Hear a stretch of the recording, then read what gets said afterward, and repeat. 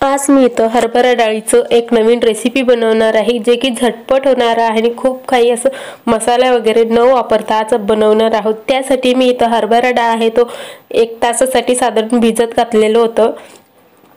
तर ते भिजत घातल्यामुळे कुकरमध्ये आपल्याला लवकर शिजवून घेता येईल. तर त्यानंतर हे यातलं पाणी काढून जे डाळ आहे ते कुकरच्या भांडीमध्ये घालून घेत आहे.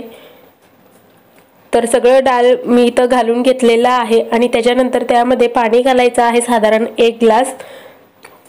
त्याचबरोबर चवीपुरतं मीठ घातलेलं आहे आणि थोडंसं हळद घातलेलं आहे. सगळं एकदा छान मिक्स करायचं आणि कुकरला लावून एकच शिटी इथं मी काढून घेणार आहे. एक किंवा दोन शिट्या इथं काढून घ्यायच्या आहेत. भिजलेलं असल्यामुळे हे लवकर होईल लवकर शिजतील. तर तुमचे जर भिजत भिजलेले नसतील तर तुम्ही साधारण एक तीन ते चार शिट्ट्या तुम्ही इथं घेऊ शकता. आणि त्यानंतर मी इथं एक अर्धी वाटी गरम पाणी करून घेतलेलं आहे. त्याच्यामध्ये मसाले घालायचे आहेत हळद घातलेला आहे थोडंसं हिंग घालून घ्यायचं आहे लाल तिखट घातलेलं आहे त्याचबरोबर थोडंसं धना पावडर गरम मसाला हे सगळं ह्याच्यामध्ये घालायचं आहे. थोडंसं जिरा पावडरसुद्धा घालून घेतलेलं आहे.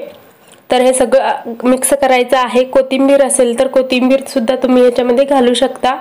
तर सगळं एकदा छान मिक्स केलं आणि ह्याला आता बाजूला ठेवूयात. तर तुम्ही सुद्धा अशा पद्धतीने एक एकदा नक्की करून बघा. खूप छान झटपट होणार आणि खूपच छान लागतं. तर इथं कांदा वगैरे कापून घेतलेलं होतं मी बारीक बारीक कांदा टोमॅटो वगैरे. आणि त्यानंतर इथं सुट्टी झाल्यावर मी इथं तुम्ही बघू शकता डाळ आहे तो छान असं मौसूत शिजलेला आहे.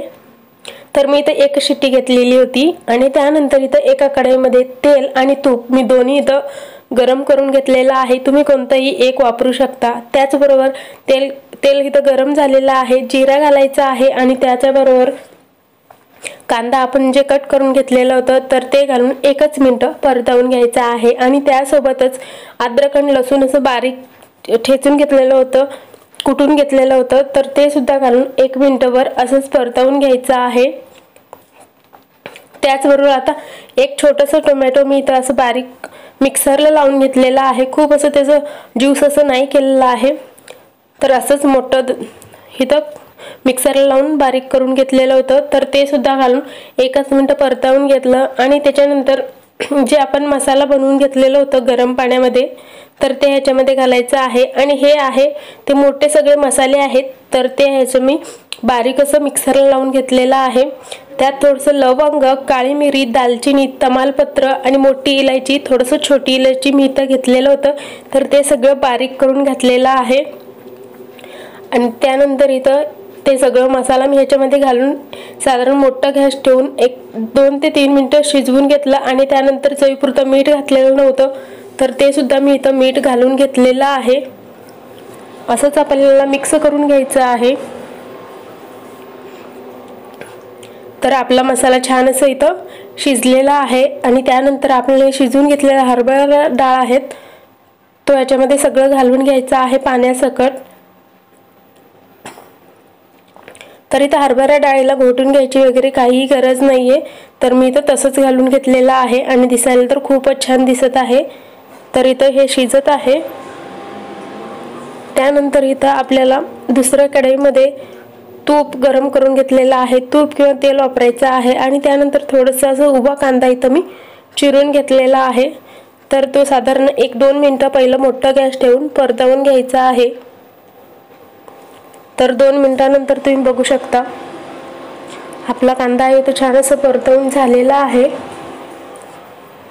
त्याचबरोबर मी इथं एक टोमॅटो आहे छोटासा. तर त्यालासुद्धा असं मोठं फोडी करून घेतलेलं आहेत तर ते सुद्धा घालून परतवून घेतलं. आणि त्यानंतर थोडंसं इथं कसुरी मेथी घातलेला आहे. आणि एक असं मधोमध चिरून घेतलेला हिरवी मिरची मी इथं घालून घेतलेला आहे. सगळं एकदा छान मिक्स करून घ्यायचं आहे. तर सगळं मी इथं मिक्स करून घेतलेलं आहे. तर आता आपण गॅस आहे तो बंद करूया. आणि गॅस इथं बंद करून मी इथं थोडंसं लाल तिखट सुद्धा घातलेलं आहे. लाल तिखट नाही घातलं तरी चालेल. तर घालून मिक्स करून घेतलं आणि त्यानंतर इकडं डाळ सुद्धा शिजत आहे. तर ह्याच्यामध्ये आपल्याला हे घालून घ्यायचं आहे.